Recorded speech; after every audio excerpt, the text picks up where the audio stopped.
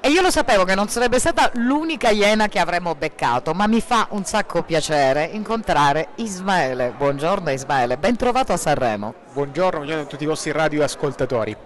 Ismaele, eh, la tua presenza qui è una presenza secondo me molto importante. Questa sera sul palco di Sanremo salirà Saviano, che ricorderà a 30 anni di distanza dalle stragi di Falcone e Borsellino l'impegno contro la mafia. E tu caspita di impegno ce n'hai messo tanto, sei giovanissimo ma hai perfino ricevuto un Oscar nel 2015 per il tuo impegno.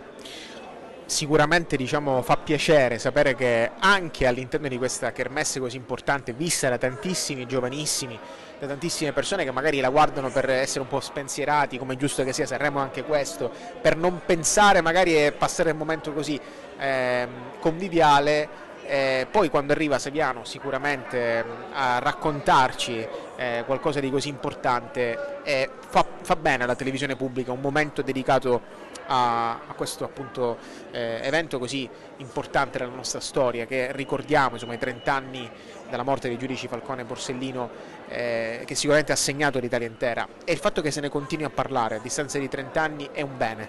Non dobbiamo dimenticare insomma, che le mafie non hanno purtroppo ancora smesso di esistere e quindi è bene che se ne parli ovunque e comunque.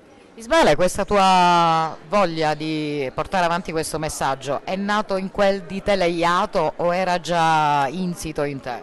Ma sicuramente Teleiato è stata una bella palestra di vita, mi ha permesso di poter occuparmi anche di, di territorio, di inchieste, insomma, eh, poi alla fine eh, chi fa questo mestiere deve raccontare le cose che gli sono più vicine. Nel mio caso, in quel periodo, Villabate, il paese dove sono nato, in quel periodo c'era quello da raccontare, l'ho fatto. Non esiste un giornalista specializzato in qualcosa rispetto a chi è un altro, è, è quasi forse per necessità, quasi forse per esigenze territoriali. Come sei arrivato alle Iene? Come arriva un palermitano alle Iene? Beh, eh, questa è stata dire, una roba che partita proprio da Teleiato, un'inchiesta che ho fatto ha di fatto di mettere sindaco e giunta del comune di Villabate, ho fatto un servizio per questa cosa e poi questa cosa è stata ripresa dalle Iene.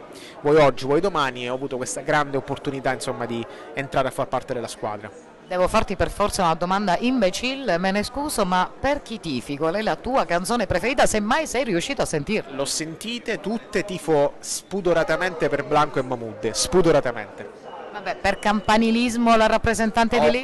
sul podio. Io dico sicuramente Elisa, Branco, Blanco e Mahmoud, rappresentante di lista, saranno sul podio, sicuro. Giocatevele. Mi piace, mi piace questo pronostico. Eh, possiamo dire qualcosa di stupido, di stupido perché è stata un'intervista troppo seria, non no, so. No, ma, che, ma, che, ma che seria, ma, qual, ma quale seria? Assolutamente, assolutamente così, conviviale, forza la Sicilia e forza Sanremo. Grazie Ismaele, buon lavoro. Ciao.